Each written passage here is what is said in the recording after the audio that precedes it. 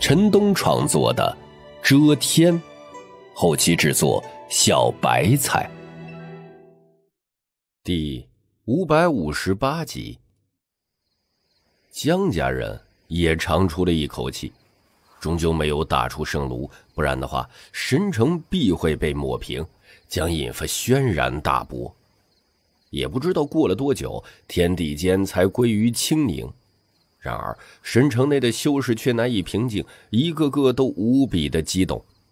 两件大地圣兵对峙，差点就打穿天地，毁灭这里的一切。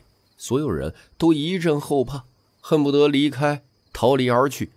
可是呢，神城被震封了，没有人能够离开。在这样一座恐怖的城池中待下去，诸多修士莫不觉得浑身发凉。在这个清晨。叶凡开出了第二剂药方，他取出一个白玉瓶，打开后清香漾出，不过并不多么浓烈。这是什么呀？天地奇珍，可取其精华。叶凡自己都不知道它是什么。他第二次切元天师留下的神藏时，除了得到一枚紫色的石胆外，还有一些疑似神果融化后的液体。江云接了过去，认真观察后动容。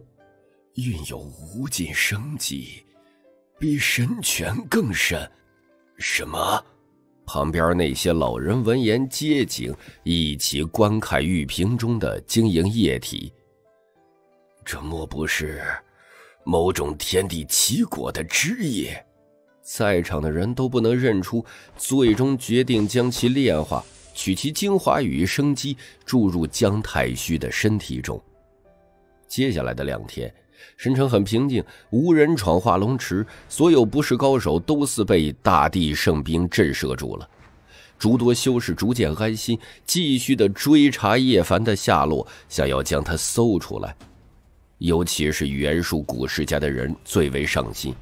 欧阳叶神目如电，几次走到化龙池附近，都心有疑惑。朱圣子与朱圣女遣出大量人手。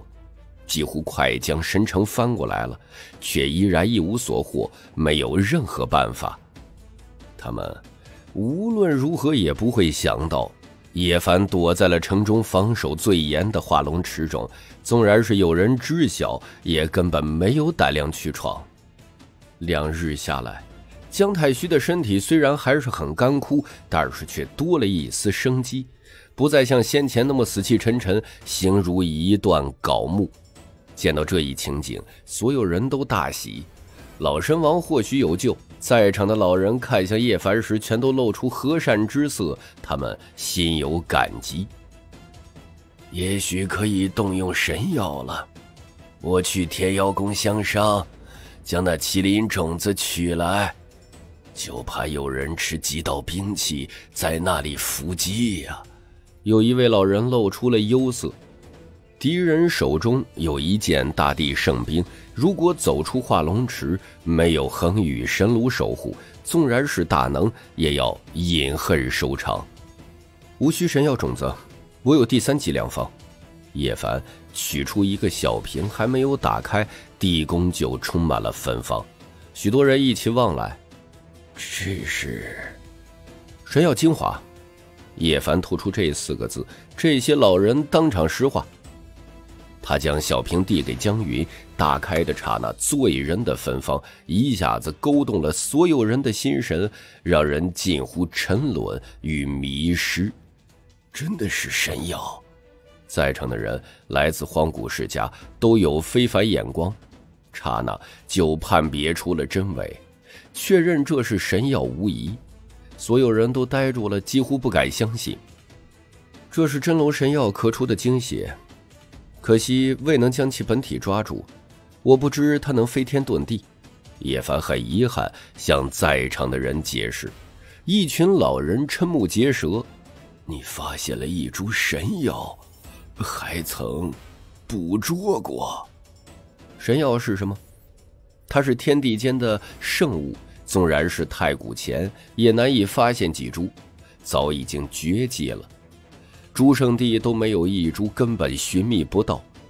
在小瓶中有九条小龙，金光炫目，栩栩如生，跟活着的真龙一样，非常的神奇。芬芳让一群老头子都一阵沉醉，一群老头子近乎颤抖。九滴神药精血，也许可以让老祖复生啊！他们对叶凡施大礼，全都无比激动。诸位前辈不必如此。叶凡躲向一旁。普天之下，除却七大生命禁地，真的没有一株太古神药了。这种大恩难以为报。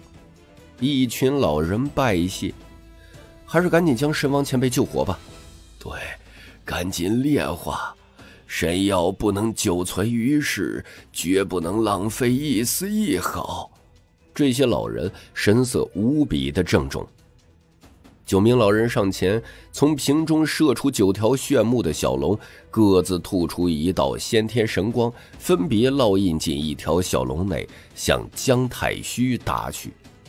富裕芬芳，九条小龙缭绕在姜太虚的体外，如九条真龙在化形，跟有生命的活物一样，极尽通灵，让那干枯的身体都生出了晶莹。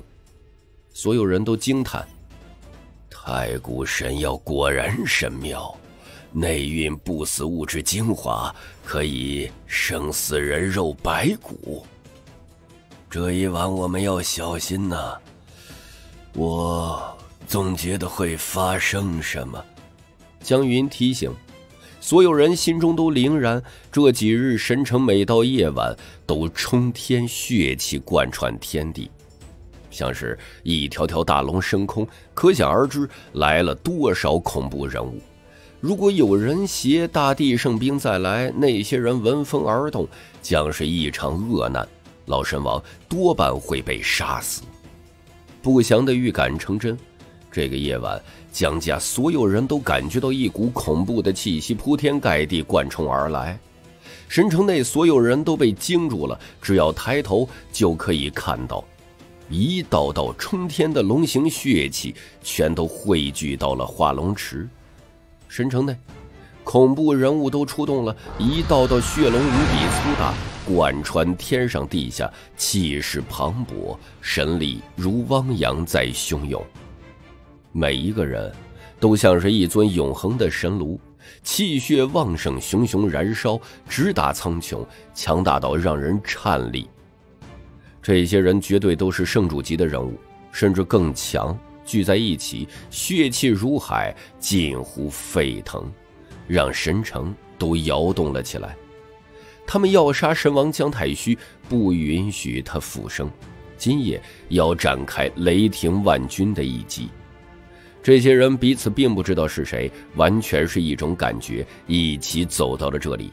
将要共同出手灭掉昔日的天纵神王。轰的一声，恒宇炉复苏，万丈光芒直冲霄汉，整座神城都一阵抖动，黄血赤金交织出大道之理，铺天盖地。此刻，他上动九天，下动九幽，成为天地唯一的一尊圣炉，压盖一切，是为永恒神物。古之大地圣兵复苏，无上神威汹涌，如大江大海奔腾咆哮，似红日坠空撞击大地。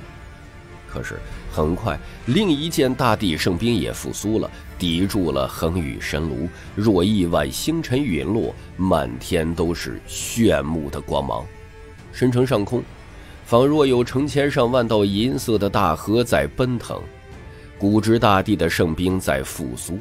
彼此在不断的对抗，撼动了神城，震动了苍穹。真龙一样的气血冲霄而上，一道又一道，缓缓移动，逼近化龙池。一群来历不明、实力恐怖的绝顶高手，终于要动手了，要击杀神王。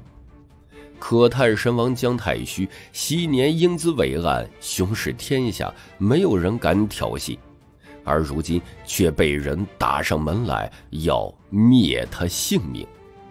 四千多年前，风采无上的神王，今昔对比，暮年如此，不得不说是一种悲凉。英雄不许人间见白头。